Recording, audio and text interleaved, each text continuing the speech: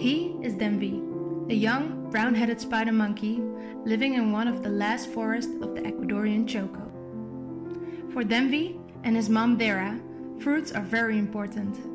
Their diets depend on fruits, but also fruiting trees depend on Dara and Denvi because they can swallow large fruits and after digesting them, they disperse their seeds over long distances. Their long arms allow them to move 6 kilometers per day, giving more opportunities for seeds to grow all over the forest. For all of this, spider monkeys are forest farmers.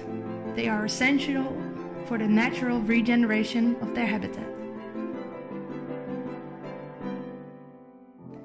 Dara and Denvi don't know that their species is on the brink of extinction, but they live the consequences of this situation on a daily basis. Their home, the Ecuadorian Choco, is one of the hotspots of biodiversity worldwide.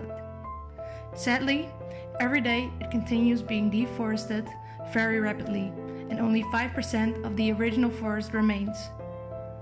Some parts of these forests have been deforested to be transformed into pasture lands and when this happened, the spider monkeys got trapped in small fragments together with hundreds of other species, who continue to try and do whatever is possible to survive. In a world that does not seem to have space for them, day after day, in search of food, crossing between roads and forests, they survive deforestation and hunting. They only have their voice to be heard, and collectively, we can all help to save them. Ten years ago, the brown-headed spider monkey became our flagship species to work for the conservation of biodiversity. Hello everyone, I am Felipe Alfonso Cortez, director and co-founder of Proyecto Washu, and we are delighted to be part of the Wildlife Conservation Network Expo for our very first time. Hi, good morning to the people who joined this live stream. I am Natalia Fuentes, president and co-founder of Proyecto Washu. We, our team, and the communities of farmers who are our main partners are very happy to with you and share our work por, por la, vida, vida del Chocó. Chocó. 10 years ago, we started an amazing research about the situation of the critically endangered brown-headed spider monkey in Ecuador. This motivated us to work for its conservation. To mitigate and tackle the impacts of these threats, we have developed a comprehensive strategy that combines four programs that we will share with you today. Join us on this journey about the spider monkeys and the incredible Choco rainforest. To start, here we have the Scientific Research Program Coordinator, Esteban Rivera. Hi Esteban, how are you? Hi Felipe, Natalia, and all who are joining us here at WCN Expo. I want to start by telling you that to design primate conservation strategies, it's essential to understand the ecology, behavior, and genetic of the species. We work with the four Ecuadorian primate species, sadly, are listed as critically endangered in the country, and two of them are part of the 25 most endangered primate species in the world, the brown-headed spider monkey and the Ecuadorian white-fronted capuchin. Within this program, we manage research stations and private reserves, created with amazing partners and donors. In the province of Esmeraldas, where the best connected forest extensions of the Ecuadorian Choco are, you can find our first protected area, the Jebon Forest Reserve, where Edwin Pincay, a young local conservationist, is working at. This is an incredible place combining tropical and cloud rainforest. Here we study the wildlife of the area, while protecting iconic species like the incredible jaguar. Another part of our work is in the province of Manabí. Here, the spider monkeys were believed to be extinct more than 50 years ago. However, in 2015, a population was rediscovered and we estimate that there are around 300 spider monkeys in 22 forest fragments until now. Here we study how habitat fragmentation affects the ecology and behavior of these primate species, but also how they are able to survive and move around within and between forest fragments. Now that we are here at WCN Expo, we want to share with you some breaking news that give us great hope and energy. Together with our wonderful partners of Fundación Condor Andino and Biopac de la we have initiated the creation of a protected area for the spider monkeys, starting with the purchase of 500 acres of land. This reserve represents a better future for Dera, Denby, and the rest of their group of 25 spider monkeys. Now, our dream is to turn the grasslands into forests, and with the help of the spider monkeys, reforest them. We also want to increase the number of acres of these reserves to 2,500 acres, and thus protect part of the spider monkeys that continue to struggle to survive in other fragments. We know together we can make it happen. Thank you, Esteban. What an amazing work. We have to continue achieving all these dreams. Now, I'm going to tell you about another major threat that the spider monkey face. As we all know, all primates, including humans, rely on their mothers and their social group because this is where we and other primates generate life experiences. Also, spider monkey mothers nurse their babies until they are 3 years old these young juveniles stay with their mothers until they are six and then rely on everything they have learned to survive in the wild.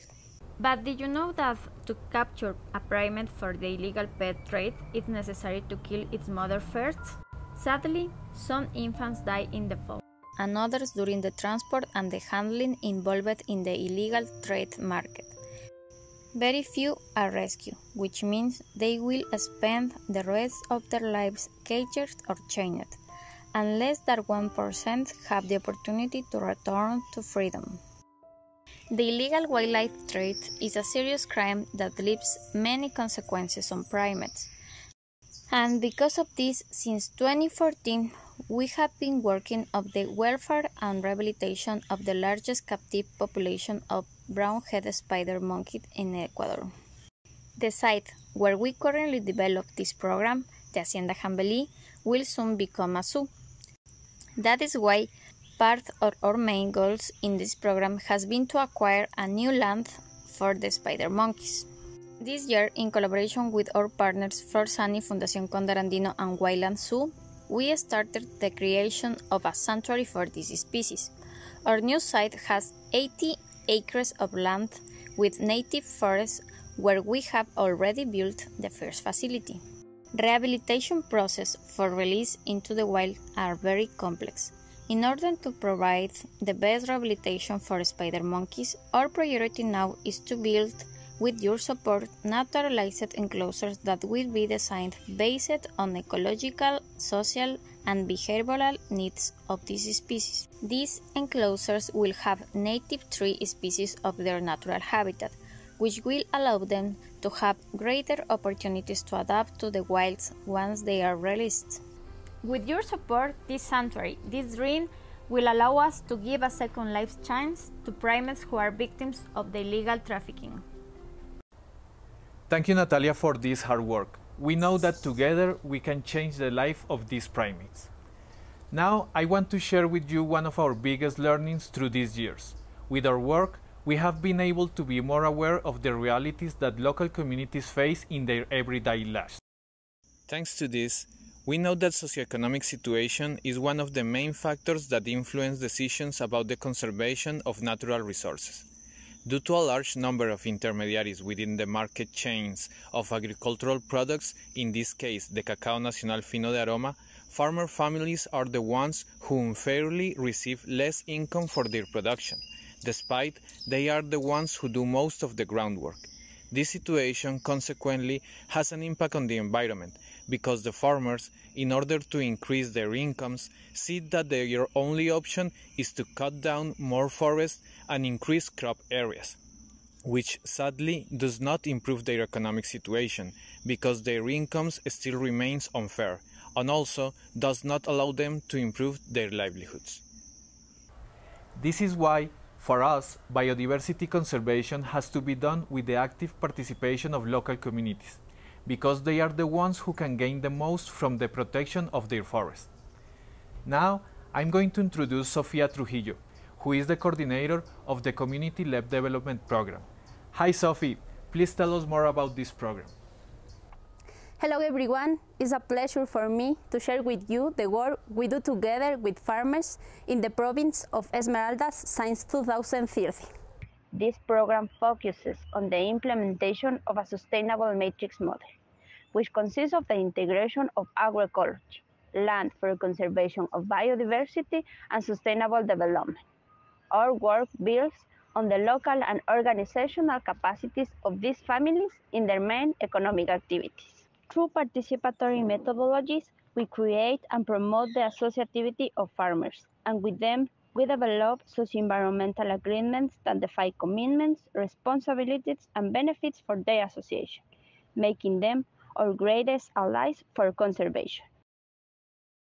Thanks to the added value for the conservation of their forests and their dedication and effort to obtain a cacao product of excellent quality we have managed to eliminate the chain of intermediaries, securing a minimum price of $4 per kilo, which compared to the international cacao price represents an increase of more than 100% incomes for the families. In summary, the impact of this program has been two farmers associations were created and legalized, 17 families with sustainable land management, more than 900 acres of territory under the Sustainable Matrix model. 560 acres of forest protected and monitored with drones. Buffer zone protection of public and private reserves.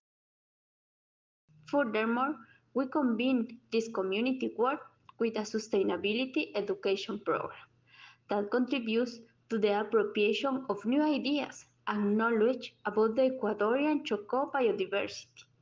As part of the training workshops, the families have learned about the diversity of mammals, birds, amphibians, and reptiles.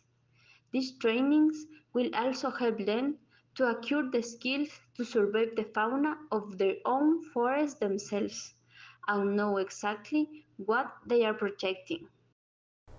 Thanks to your support, we will involve more families in this program and turn them into independent and empowered communities. Thanks, Sophie. We are really happy for all of this. Now, we want to make a sweet invitation. Did you know that you can eat chocolate and save the rainforest? As part of our self-management, we have created Washu Chocolate, which has the commitment to support our conservation activities by reinvesting a percentage of the incomes made from the sales of the chocolates. During 10 years of work with a lot of commitment, Washu has changed the life of many people. And now, thanks to this opportunity, we can imagine what together we can achieve for the spider monkeys and por la vida del Chocó. From Ecuador, the middle of the world, a message for you. Con tu apoyo ayudaremos a muchas más mujeres. Con tu apoyo cumpliremos nuestros sueños. Junto a ti protegeremos más bosques. Con tu apoyo esperamos que más familias sean parte. Junto a ti seremos más agricultores de la conservación. Con tu apoyo voy a salvar los monos arañas.